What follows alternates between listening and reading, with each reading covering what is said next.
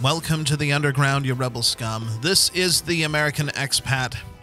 I want to talk about Laken Riley and the president's apology for using the term illegal immigrant. Now, I know this is all over the place. A lot of popular people are talking about this, the news is talking about this. Um, I have a little bit of a different take on this whole thing and uh, some questions that I would like to ask because I am suddenly left feeling like a large portion of our population here in the United States are basically Manchurian candidates. You'll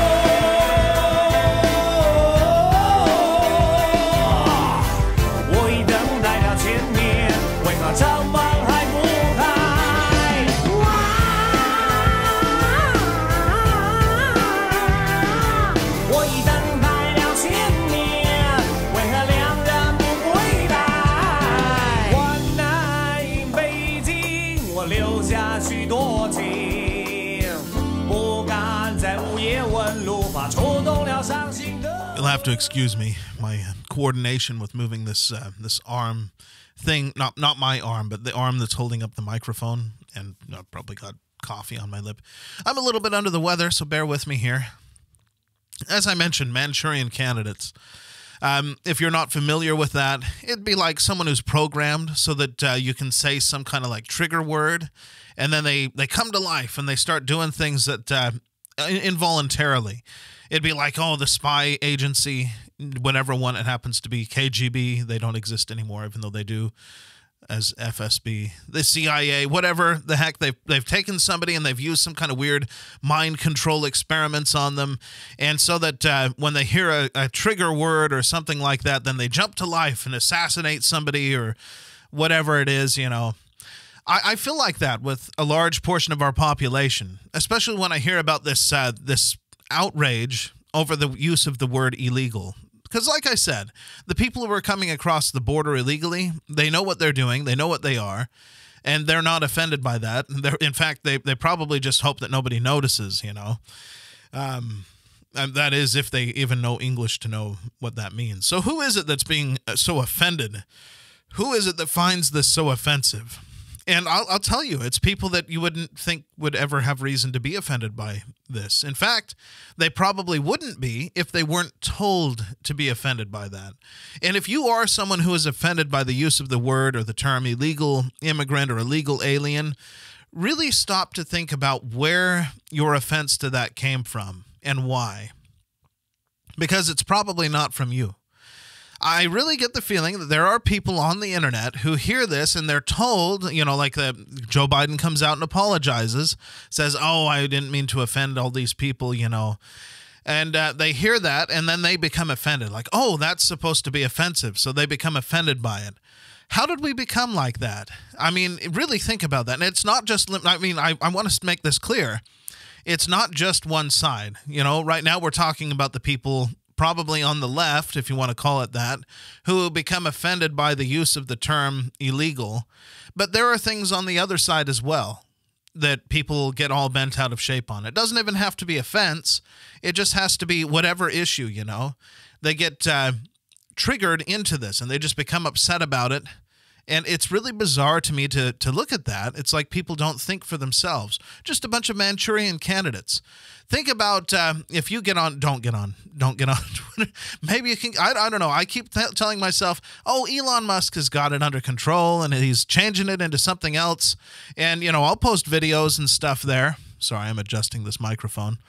And it just, it remains the same. I see all the fake trending stuff. That's not on Elon Musk or anybody like that. But somehow, the uh, the bot people who inhabit the social media world, they still have control over that. They can get weird things to trend that don't make any sense and get all the people that are, you know, the Manchurian candidate types to, you know, and I'm sorry if you're one of those people that get upset about things online. Um, they can get something to trend and trigger them into you know outrage and it leads to crazy stuff like the people lately that we've been hearing about doing terrible things. You can put whatever you want into that slot but you know people get driven insane by what they hear on social media and they very much are like a manchurian candidate you know? They tell them what to be offended by and then they become incredibly offended by it. It's like it's dialed up to 11 and they go and do something horrifying. And then the uh, the bad actors in the government or whatever can take advantage of the situation and uh, say, "Oh, well, we need to pass such and such law to deal with this problem." And you know, I'm not saying that they're outright uh, programming people, but they know what they're doing. They know how to drive people toward doing things that they they probably wouldn't normally do. And I don't know if they want them to do really really horrible things, but certainly they can they enjoy getting people upset, so that it seems as though whatever their crazy ideas are, they have a lot of support for it. And as I said, it's not just one side. This is happening all around. You get the people talking about secession on the right, and there you go. There's uh, somebody trying to manipulate you to get you to think a certain way. And don't, please don't get upset. Just stop and think about that for a moment.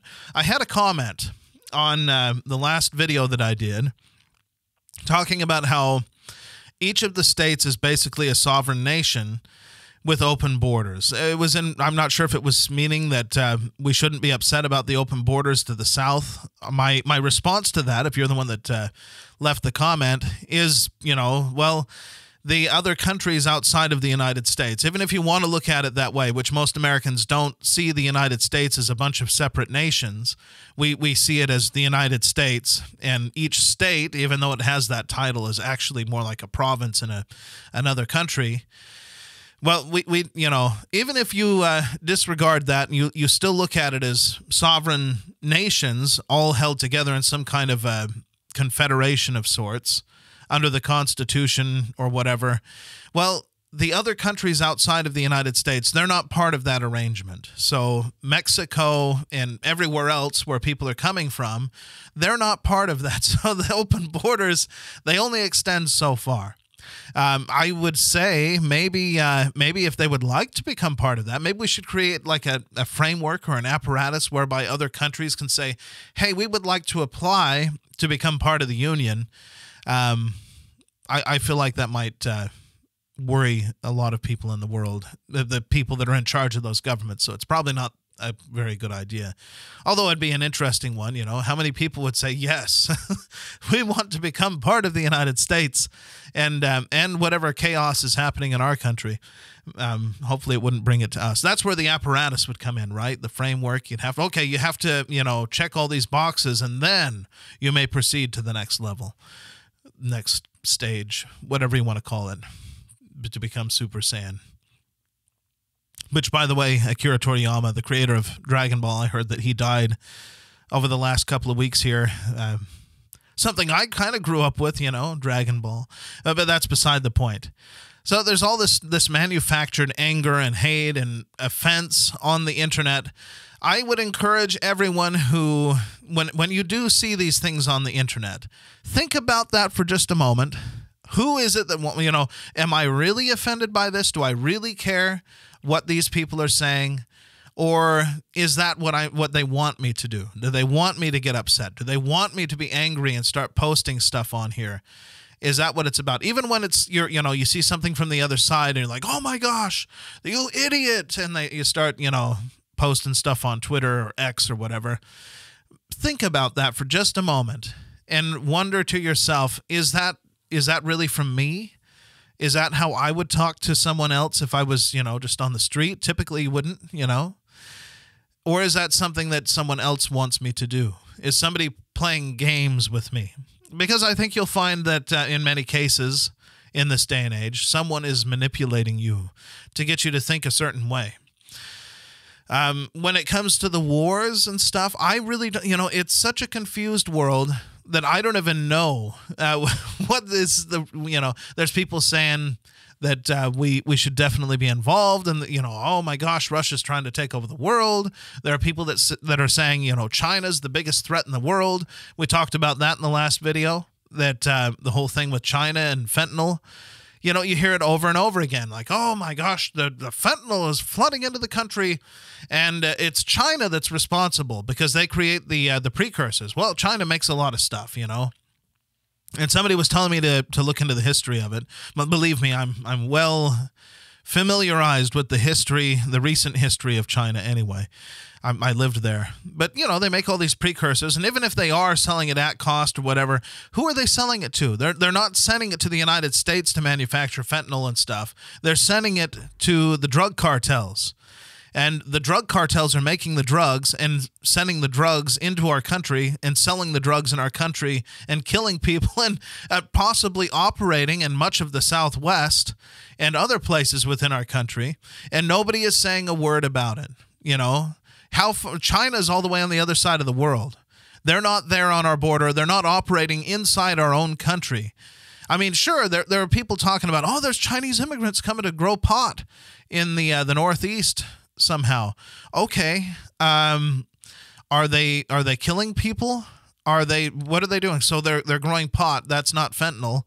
Um, and I, I'm I'm not trying to excuse China here. I'm just saying it's like we're we're ignoring the most important piece here. You know, if we got rid of the uh, the problem here, the people that China's selling the chemicals to, we probably wouldn't have so much drugs. I don't think that China is going to outright produce drugs and send them into the country in the you know as large of amounts as what these drug cartels are doing, and. Um, that's a little scary to talk about because you really have to think like why why is nobody talking about this but they uh, they try to get you upset with China and ignore the actual problem um, it's just bizarre the things that they they're the ways that they're manipulating people. I don't know if it's because the drug cartels have money and they're they're bribing people or what, but uh, it's really bizarre to me to see that. And think about that, you know, the next time you see something that you're supposed to be offended by that a politician does or says or something that you see on the internet, stop and think for a moment.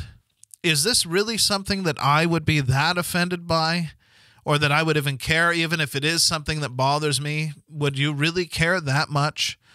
Or is that something that someone else wants you to do? Yeah, anyway, I uh, I better get this out and uploaded before something like what happened last time. I had a video all ready to go on Sunday. I'll probably upload it uh, later after this one or maybe before. It's already uploaded now. I just don't have a thumbnail and stuff for it. But uh, you know, the power went out. The power it's ridiculous. The wind is blowing. Apparently a tree fell on a power line and knocked it out. So the video didn't get uh, uploaded in time, which means it'll it'll totally goof up my channel with the algorithm, I'm sure. You know, I'll never get any more views because I missed it because the tree fell on the power line. I don't know. Is that what's going to happen? Do you guys miss these videos when they don't show up? I don't know. Maybe some people do. Maybe they don't. But uh, in either case, I, I have it prepared now, uh, later after the fact, and I, I will upload it as well. I better end this. I'll see you guys later. ไฟพะวงลงเฝ้าสาวเจ้าบางประกงทางไว้งงลงเกอเออหาโอเวรกรรมจำพราก